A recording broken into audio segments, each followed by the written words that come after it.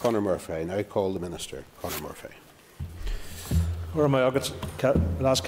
Uh, and I welcome the opportunity to make a statement on the outcome of the 2020-21 provisional outturn and the Executive's June monitoring exercise.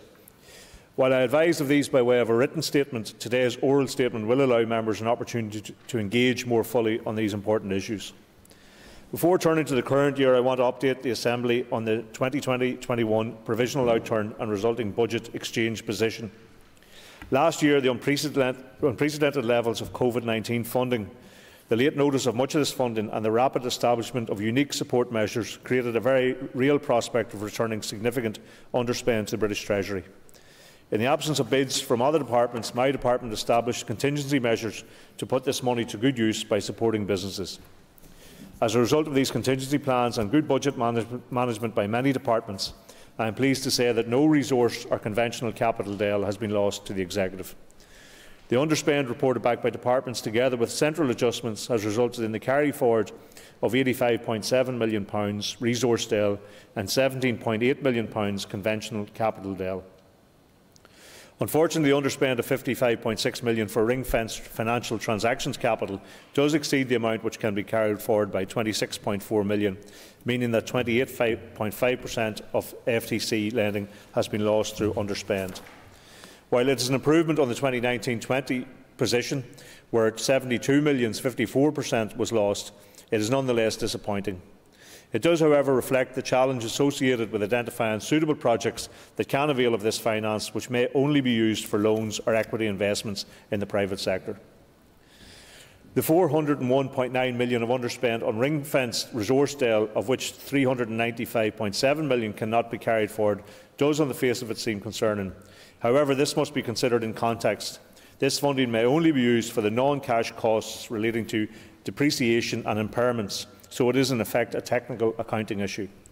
The majority of the underspend arose from a Barnett consequential resulting from an allocation for student loan impairments in England, which was not needed here. Given its technical nature, the loss of this underspend has no impact on the level of funding available for public services. Last Concordia, turning to June monitoring, as members will be aware from my written statement, the Executive had 149 million resource DEL, 91 million capital DEL and 57.6 million financial transaction capital DEL available to address pressures of a routine nature and those arising as a result of COVID-19. This funding includes reduced requirements of 20.7 million resource DEL and 23.4 million capital DEL. Further details are included in the statements provided with the statement in the tables provided with the statement. As usual, the resource style bids submitted by departments far outweighed the level of resources available. Some bids can be revisited later in the year where, when there will be more clarity on actual costs. The Executive has agreed to allocate the full level of resource style funding available in this round, some £149 million. Full details of bids and allocations are set out in the tables which accompany the statement. However, I would like to highlight a few specific areas. I am providing £54.7 million to the Department of Health, including £31.5 million to aid with pressures in elective care. This will help with waiting lists in the short term. I have also written to executive colleagues seeking support for a longer-term plan to tackle waiting lists and transform the health service as part of the multi-year budget we hope to move to.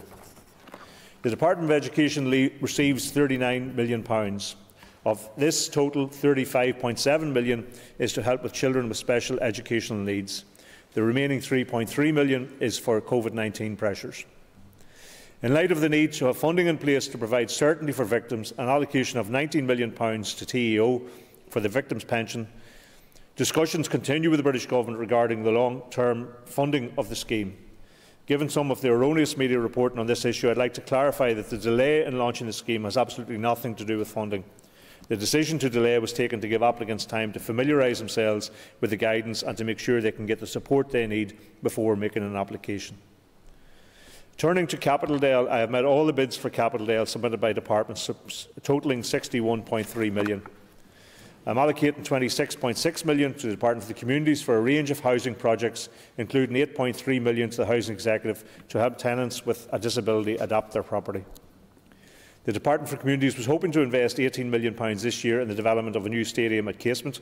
However, planning permission has not yet been approved, meaning it is not possible to spend this amount within the financial year. Funding for this flagship scheme will instead be allocated next year. The Department for Education receives £18 million, 18 million, 14 million of which is for works to deliver additional accommodation across the school's estate. I'm allocating 11.5 million to the Department of Health, including 8.4 million for the replacement of equipment, vehicles and essential maintenance work across the health estate. 1 million is provided to assist in the provision of a pilot mental health rehabilitation facility in Antrim. This facility is the first of its kind and will address an identified gap in care. An allocation of 8 million of ring-fenced financial transaction capital has been made to the Department of Communities in this round to assist in funding the over 55s shared ownership scheme. Having met all the Capital DEL bids, bids there remains 29.7 million unallocated. Given the position on Capital DEL, I have decided to reduce the RRI borrowing by 30 million, leaving a small overcommitment of 0.3 million. This can be revisited in October monitoring, where a decision to access further borrowing can be made depending on the capital bids submitted at that stage. 46.4 million financial transaction capital remains unallocated at the conclusion of June monitoring, and I am calling on departments to consider ways to use, utilise this lending capacity. Last Concordia, this year's monitoring statements are accompanied by tables outlining the detail of changes to spent areas within departments to aid transparency in the process. I commend the June monitoring outcome to the Assembly. Guramagat. Guramagat uh, I now call the Chair of the Finance Committee, Steve Aiken very much indeed, Mr Deputy Speaker. And I would like to thank the Minister for his statement and indeed for meeting with me and our new Deputy, Deputy, new Deputy Chairperson earlier on today to discuss the key points within, this uh, within his briefing. I'm sure the committee will welcome the 149 million of resource DEL allocations as well as the 61 million of capital allocations, with communities, health and education all benefiting. Mr Deputy Speaker, a few days ago at the final stage of the budget bill, I referred to the possibility of unknown and undeclared problems in the estimates, which may have gone uns unscrutinised. Today we see we now have an underspend of 400 million of ring-fenced DEL, almost all of which cannot be carried forward into 21-22. I understand the explanation that will, this will not affect non-ring-fenced DEL spending, However, could I nonetheless ask the Minister why this very large allocation, which I believe relates, as he said, to unrepaid student loans, was made by the Treasury to the Department for the Economy in the first place, if it wasn't germane to Northern Ireland. Can I also why, ask why so much of this budget cover was not spent by the Department in 2021 and what the impact in future years is likely to be? Can I also ask why, during all of the scrutiny by the Committee for Finance on the spring supplementary estimates and all of the related debates in this House, the size of this problem was never explicitly revealed? I would say it's not satisfactory that the Committee for um, Finance... Um, Mr Aiken, um, maybe you weren't listening to my initial remarks now. I've allowed a fair bit of latitude because you're chair of the committee, but uh, so far I think you've asked four questions. Um, that'll be up to the Minister as to whether he answers them or not but uh, perhaps you could inject a bit of brevity into it. Deputy Speaker, because these are indeed important issues. They are, but sure um, the the, I did outline at the start for people to be snappy and sharp. Uh, if you wouldn't mind, please, just. I shall be very snappy and I shall be very sharp. Thank you very much indeed. So, Minister, if you could answer those questions, I think we members of the committee and indeed the Department of Economy would be delighted to get your views on those. Thank you. Uh, thank the Chair. And as I said, the, the significant level uh, of that ring fence uh, resource DEL was uh, Barnett consequential. It was a very significant uh, amount of impairment to student loans in England, which required a very significant amount of money to be spent in England. We get the Barnett consequential as, as a consequence of that. Ring fenced can only be spent on that exact area of impairment to loans. We had a very small, relatively speaking, amount, and therefore the rest of that money could not be used by us wouldn't be able to be allocated to any other public service isn't lost off the finances that will be available to public services and is returned back uh, to Treasury. In terms of communication with the committee, uh, I'm very happy to hear from the committee if they think there was any deficit in terms of information they received in relation to that and make sure that those issues are addressed. I call Keith Buchanan. The Deputy Speaker, and thank the Minister so far for his answers. First of all, it would probably be right of me just to welcome my colleague to the Chamber, Stephen Dunn in case I forget, maybe not do it for the next two or three years. So you're very welcome, Stephen. Thank you. Minister, just my quick questions relating to the financial transactions capital. You referred to there on page three and page four that there was 28.5% had been lost this year, if I'm correct in saying, and 54.0% last, last year. How can we improve on this, and can you give us a wee bit more detail of how departments can obviously utilise this so it's not consent back? Yes, I, I, as I said uh, to him uh, and, and, and, in the meeting earlier that we had, the discussion earlier we had, it is an improved position on last year, but it's not to where we want it to be. Financial transaction capital spend is fairly limited in terms of what it can be used for, uh, uh, and has to be uh, uh, has to be very specifically uh, in relation to a loan out to uh, a, a private enterprise, and some of that was used uh, over the course of the year by departments in, a, in an improved position. Uh, but nonetheless, we have still uh, fallen short. So we will continue to remind and, and familiarise departments, if they're not familiar with the, the rules and regulations. I know there was interest in both it and in RRI borrowing from departments, uh, but when you then, I, I suppose, distill down as to what, what some of the schemes they had considered are, are actually qualifying and can, can access that type of, of facility, then it, it reduces down that. But I think there is an improved position, which is good, but there's more work to be done. We will continue to engage with departments in the time ahead, make sure they understand fully how that can be utilised, and our ambition will be to fully utilise it in the next budget. Nashiram Sir Maolíosa McHugh, on your I call Maolíosa McHugh for a question. Gormagot, Las Concorla agus a buas bailach sa dhéanú fásta fahanne an ráis leis an éire. Éire ceist agam art. Um, uh, Minister, uh, there's the 19 million for the victims uh, pension scheme. Does that allow that scheme to commence this year? Uh, and in the event of the British government not stepping up to the plate to support this scheme, how long can it continue for?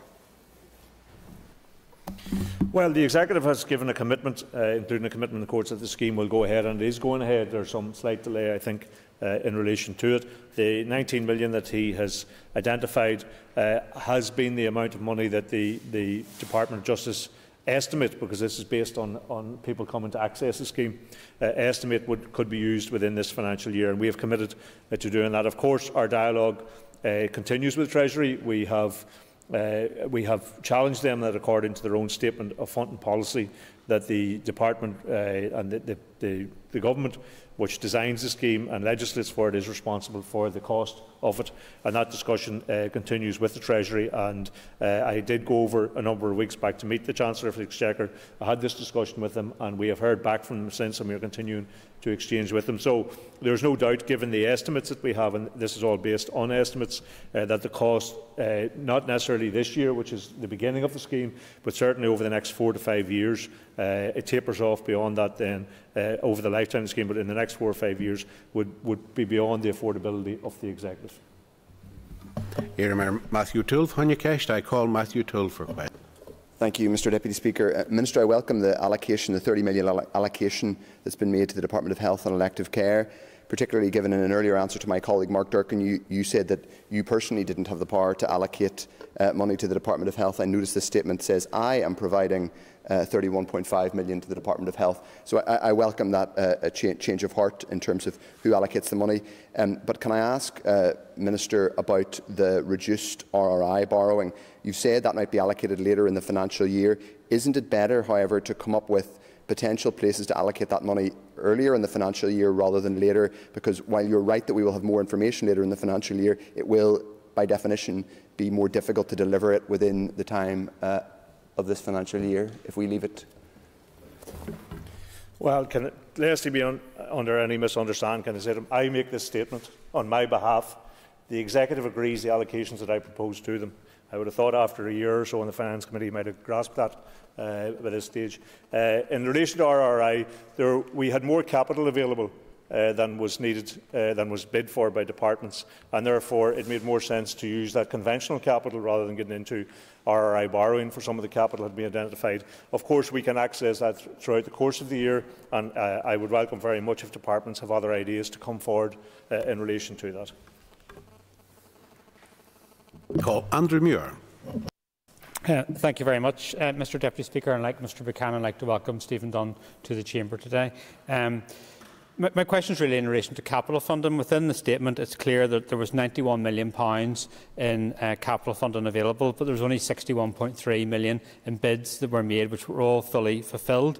Uh, that's very concerning from my perspective, in light of also the increase in construction costs.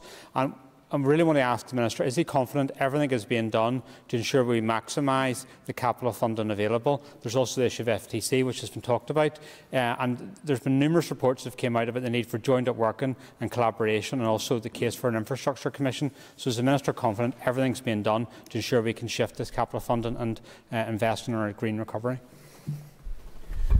Well, I think, I mean, this is early in the financial year. This is the first monitoring round exercise. So most departments will have got, or all departments will have got their capital allocation only at the start of April. Uh, and so the likelihood that some of them would already assess that they hadn't enough capital and come forward with uh, significant bids for it was probably slim. Uh, as the year rolls on, and perhaps the, uh, there is a feature in relation to costs, there also will be other features that come in that actually reduce capital spend through planning exercises and various hold-ups uh, that uh, happen over the course of significant capital projects. So it's not surprising that there isn't a, a, huge bid for capital this early in the financial year from departments, an additional bid on top of the capital they already got. We, we had while we had a standstill budget in terms of resource, we had some extra money in terms of capital, so departments will have got uh, perhaps uh, a better allocation in that regard. Uh, so we will, of course, continue to monitor this. We will continue to engage with departments. Uh, we don't want to see any uh, underspend. We want to see money managed properly, and we will engage over the course of the year to make sure that that is the case.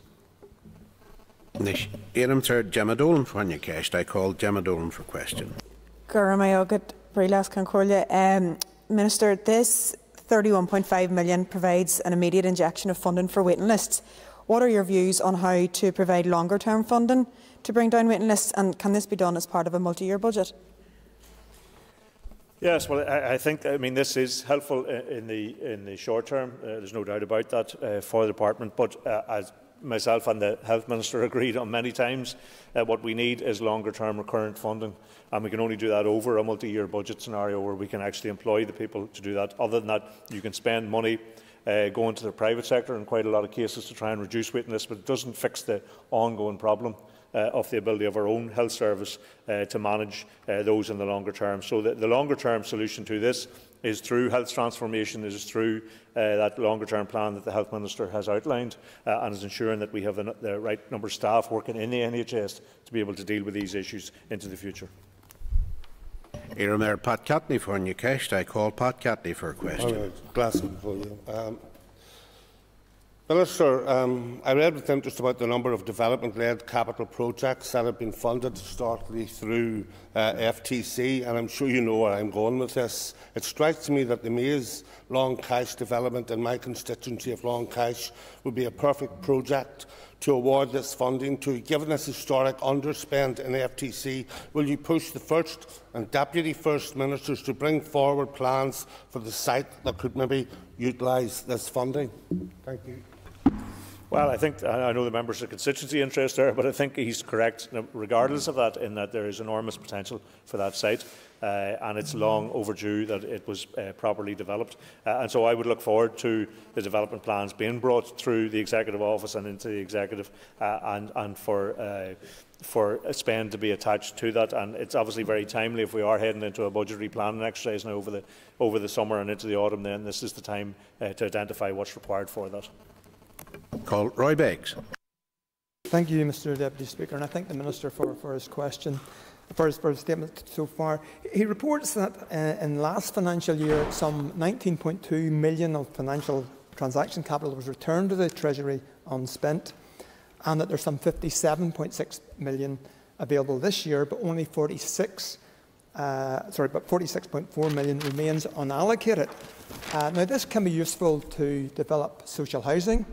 If the housing executive were restructured, it could help fund housing through it. If Northern Ireland Water were restructured, there's potential there. So, my question to the Minister how is he going to ensure that we are going to make good use of this large amount of money that remains unallocated?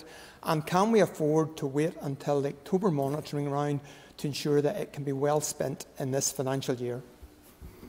Well, I think I mean, some of the suggestions he has in relation to Housing Executive or, or Northern Ireland Water then obviously require a much longer period in terms of if those organisations were to tr transform themselves or uh, to, to uh, move into a position where they could access this. Uh, there are other opportunities to access it with the departments and we have improved the picture from last year, which was, I think, uh, uh, oh, speaking off the top of my head, but I think something like £90 million pounds perhaps returned last year, uh, uh, maybe uh, incorrect in that figure, but it was certainly a, a larger amount uh, Uh, and it has improved. Uh, it's getting departments to understand how this can be utilised and to get them involved in that. And of course, there's a longer term transition process in relation to a number of arm's length bodies that might mean that this, this is more readily availed of in the years ahead. But we do want to see the picture improving over the course of the year. We'll continue to engage with departments, not wait until October month around, but in between, in between time we'll continue to engage to ensure they understand the opportunities that there are with this, uh, this uh, facility and to make sure that they bring forward schemes to avail of it. Anish Iram sir Colm Gildernew for your cash. I called Colm Gildernew for a question. Gormy Agat, last can call um, agus Gormy Agat, uh, Leis Ira. Minister, you have allocated 5.1 million towards the A5 and the A6 projects.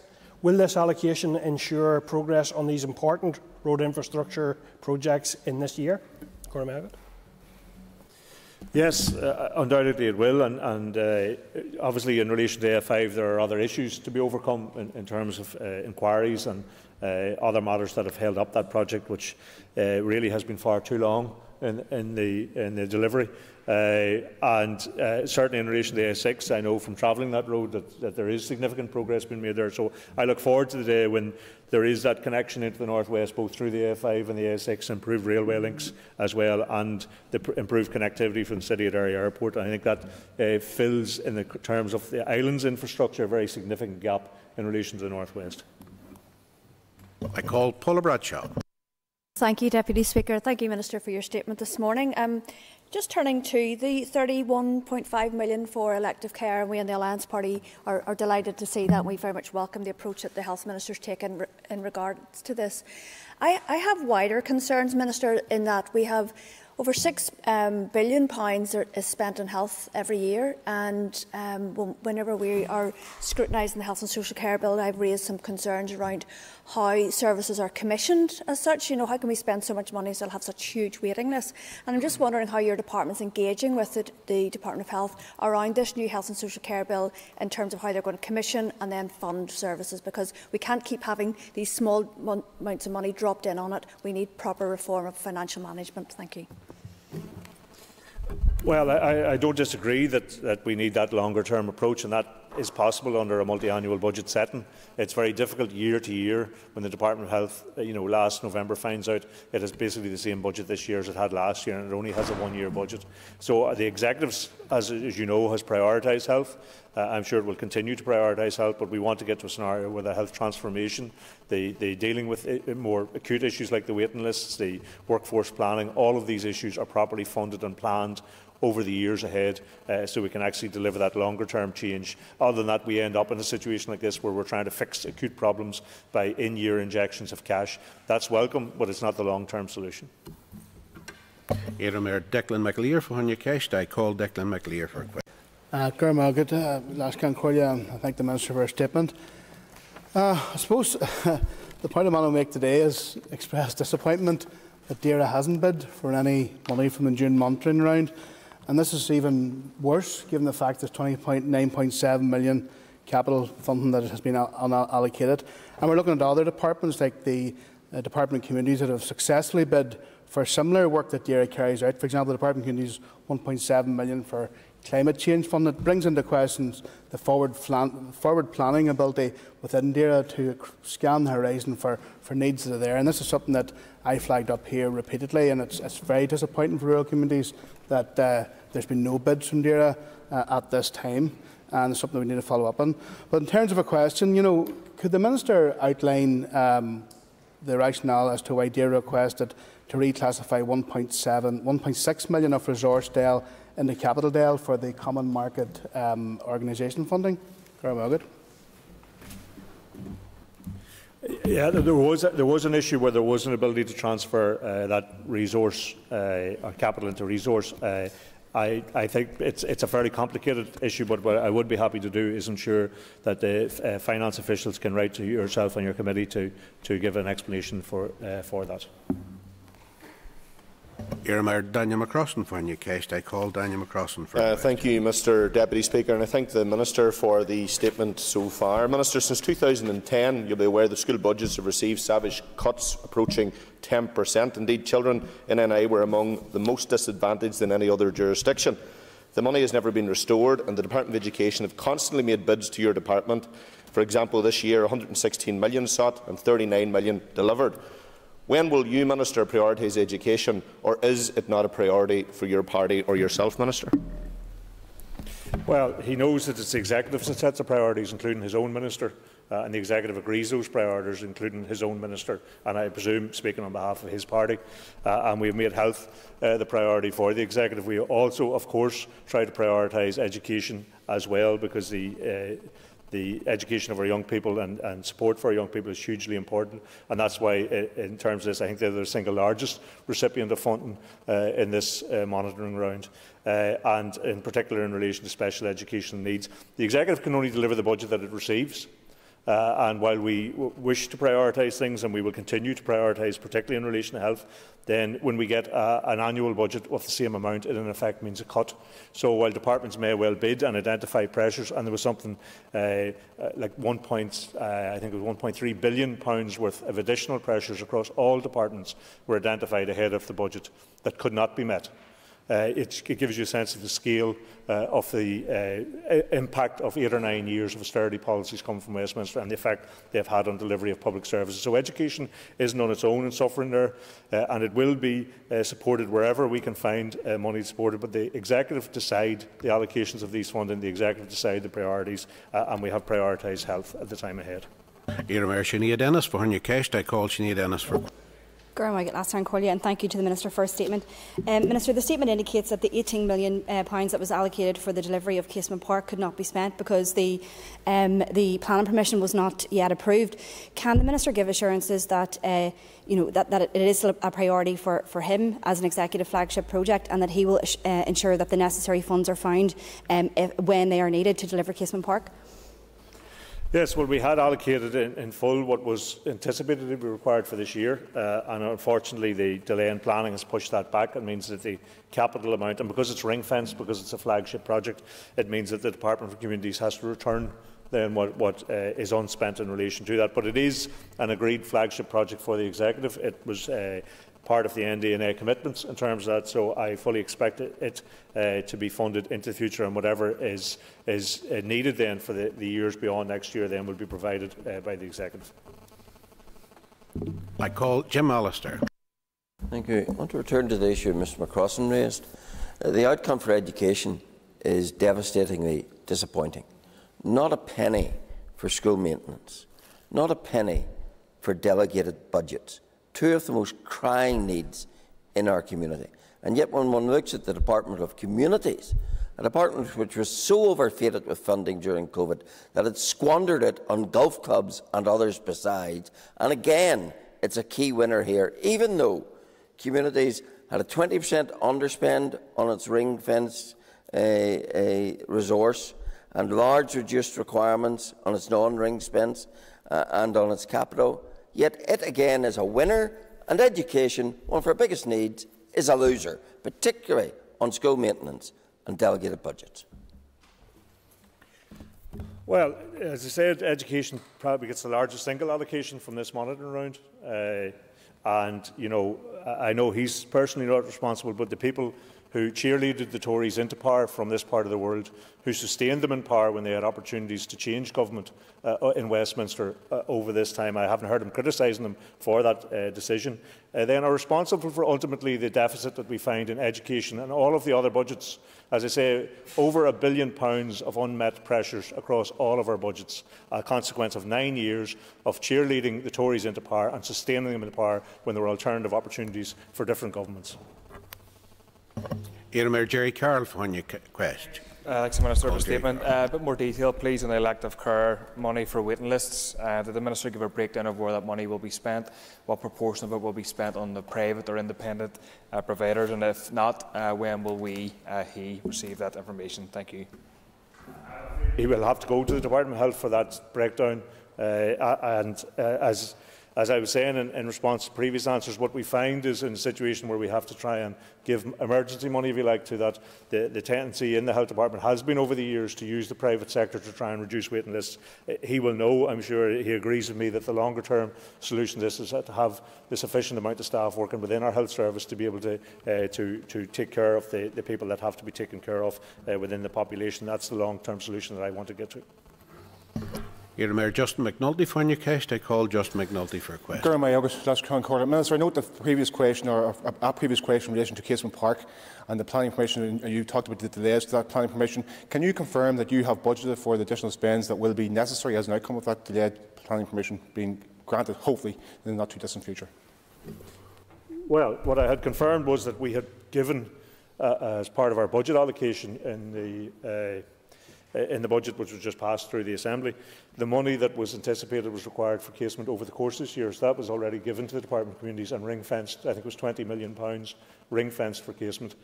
It, that now will not be required in total because the plan and permission delay means that the construction has not started as soon as we would like to have seen it. Uh, what is required uh, or what will be required over the course of this financial year is available to communities. And what will happen is the amount of money they now anticipate they can spend will be returned uh, because it is ring fence money for that specific project. Of course, it is a flagship project, it is an NDNA project, it's committed to by the Executive and it will be seen through. Thank you, members. That concludes questions on the statement. So members just take their ease while we move to the next topic. Thank you.